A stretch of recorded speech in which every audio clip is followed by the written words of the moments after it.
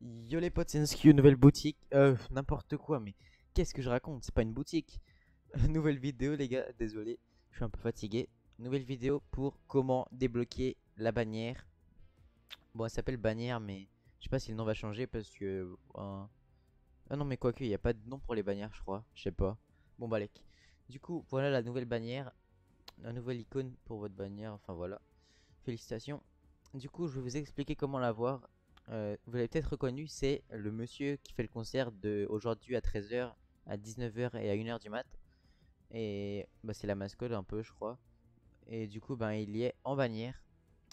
Pour la débloquer, c'est très simple. Vous devez vous connecter du 7 août à 2h, donc maintenant tout de suite, jusque le 8 août euh, vers 1h.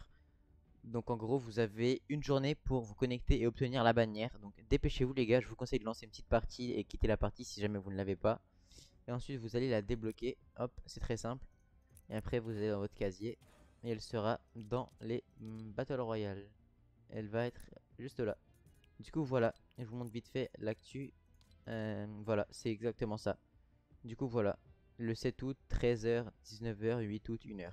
Du coup, voilà, j'espère que cette vidéo vous aura plu. N'hésitez pas à liker et à vous abonner. Et pensez au code créateur NSQ dans la boutique. Ciao